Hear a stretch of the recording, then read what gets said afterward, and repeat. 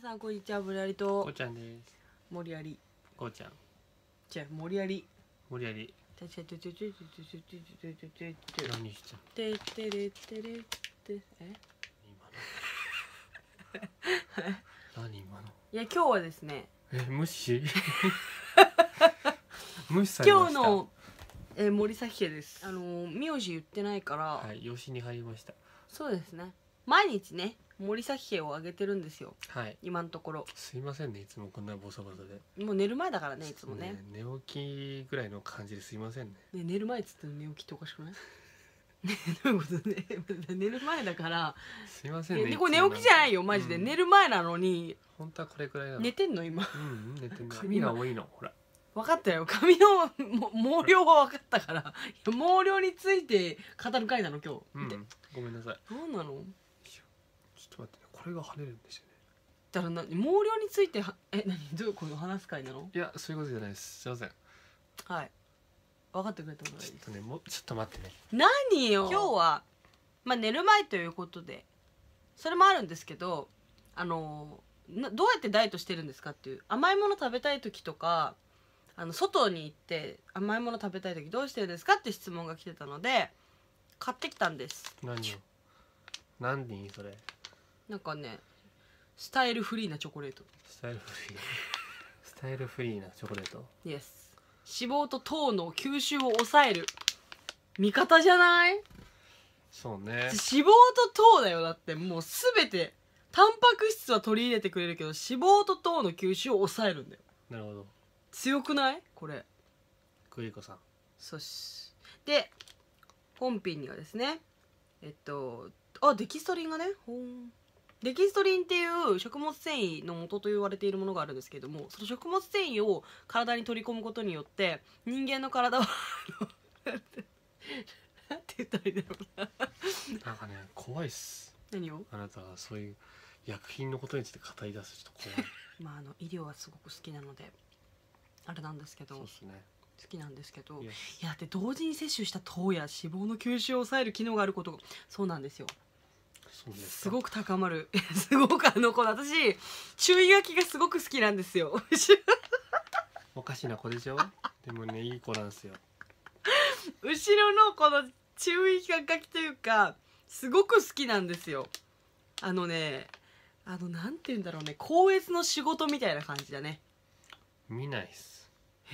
僕見ない。マジで言ってんの？商品説明とか見ないの？賞味期限しか見ない消費か賞味の分かってる意味？わかるわかる。ああね。賞味賞味で全然いいんだよねお菓子は。ちなみにこれ消費です。多分これはあのどちらかというと医薬品みたいな感じの健康補助食品ではないから。あ高いんでしょよ。138円でした。高いんでしょいや138円。いやおたいやお高くないよって今言ったばかりでお高くないの。あほら機能性表示食品なのであの健康補助食品とはまた違う。でコンビニで買えるやつなんですよね。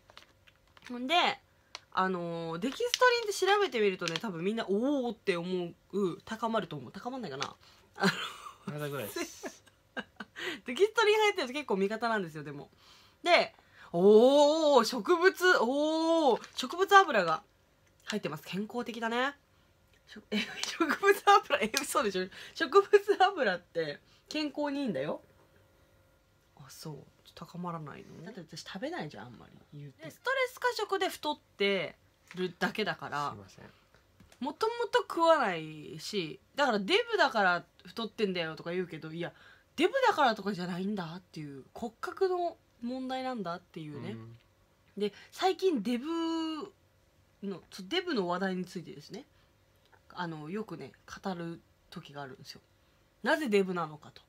でそんなことを私に聞かれても。っていう。で親も両方細いし、うん。みんなうち細いじゃない。そうね。あなただけねポンって。そうなの。私だけねあなただけどうしたって感じだよね。そうなの。私だけムチムチしてる。誰に似たの？パパの妹お姉ちゃんかな？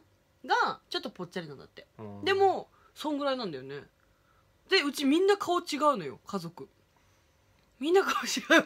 みんな違う。まあ違うな違うよね。なんかうちと私と多分お母さんとお父さんは似てるんだけどお父さんの方が顔似てるの。ということでですね。あのー盛り上げが高まった数値に、えっと今89ぐらいに達したところでですね。ああお腹が鳴った。消費者ちゃちゃちゃちゃねえこれやばい。茹でるこれ。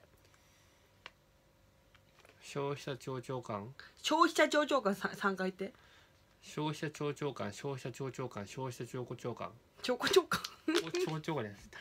消費者庁長官消費者庁長官消費者庁長官消費者？庁長官すごい言いにくいねこれ。消費者庁消費者庁長長官消費者庁消費者庁長官消費者庁長官消費者庁長官に届け出されたものなんですとりあえずね。言いにくいな。特定保険用食品となり。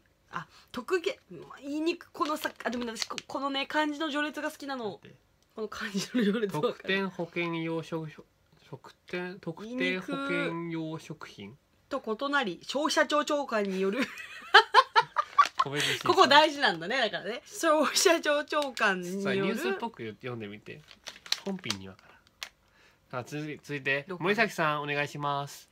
はい森崎さんはい現場の森崎です、リベラミルクのやつについて説明お願いしたいんですけどもはい、本品には難消化性デキストリンが含まれており、えっと、難消化性のデキストリンにはですね同時に摂取した糖やとあの脂肪をね吸収を抑える機能があることが報告されていましてはい、で本品はですね事業者の責任において特定のあの保険の目的が期待できる馬を表示するものとして消費者庁長官のあの届け出がされていましてですね、どはい。でただしあの、まあ、あの条件というかね、まあ、いろいろありましてあの特定保険用食品とこんこうあすみませんあのすいません生放送弱くてあの消費者庁長官が 消費者庁長官にパ審査を受けたものではありません。パはい現場を返します。はい返して返しました。はいありがとうございます。はい。続いてはお天気です。え？お天気言っちゃダメ お天気つ言っちゃ続いてはお天気です。はい。はい。そちらどうですか？はい現場の森崎です。お願いします。すごい。あいた。すごい。いかがですかそちら？すごいです。あのとりあえず風とあのー雨雨があやばいです。今すごくあすいません。ああのすごいあの今あれですね実況できない感じになってますね。あのはい何か何か質問とか現場からは以上です。ありますか？現場からは以上です。いや本当にあいたえ えーここで速報です、えーリベラミルクについてまたあの森崎さんからあるということですお願いします。ここでこれですか？リベラ。私なんで見えないの？あそっか。直しなさいよコンタクトしてるスタンスいた。はい。えっとですねあのリベラのミルクの、まあ、グリコなんですけれどもですねあの1日あたりの摂取目安量というものがあるみたいでございましてはい。あの1日あたり1袋を目安にあこちら全部 50g 召し上がれるみたいですね。でもですねあの脂肪とか糖分を抑えるんですけれども意外とエネルギーがすごございます262カロリーもはい、摂取できますね。はいでですね、えっと摂取上の注意ですね。うん多量に摂取することにより疾患が治療するものではありませんあ。りませんでまた食べ過ぎあるいは体質体調によりお腹が緩くなることがあります。なるほどはい、食生活は主食主菜副菜を基本に食事のバランスを、はい、食べてみたいと思いここでます。比較して出しますじゃあスタイ言ってください。このススタイフリーのリベラミルクスタイフリーのチョコレート。Oh, oh, oh, oh. あちょっと CM っぽく言ってくださいこうやって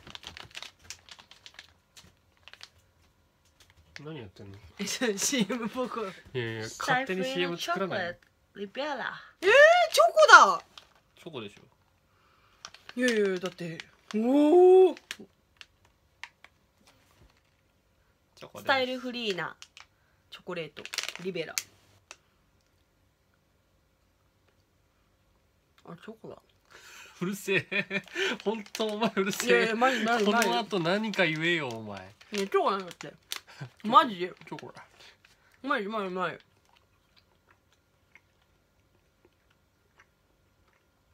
なんか。でも柔らかいねなんか。いやチョコでしょでも甘さ控えめだよね。そう？結構甘いけどな。あなた濃いからだよ普段から。でもねこれね脂肪とあの糖分を抑えるからといって食べ過ぎてはいけないんですよ皆さん。何よ。嫌だ。何のゲーム？誰得？俺得じゃない。俺得じゃねえ。食えよ。なんなんで関節キスずっとしてるなんで？なんでお腹なるの？ゾワッとする時は。いということで。スタイルフリーなチョコレートリベラ。でした。ミルク味でした。これさビターはないのかね？いやービターよりミルクの方がいいよ。それ好みでしょ、皆さん食べてみてください。はいということで。ん？森崎アリスとこちらでした。バイバイうん。チャンネル登録してね。どうしようかな。考えるもんなの？その茶って毎回。忍法。メガネ残し。はい滑った